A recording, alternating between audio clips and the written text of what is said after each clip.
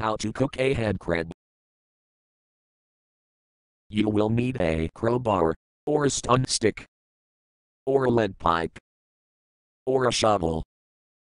Step 1 Find a head crab. Step 2 Kill it. Be careful, while killing head crabs, you don't want to become this person.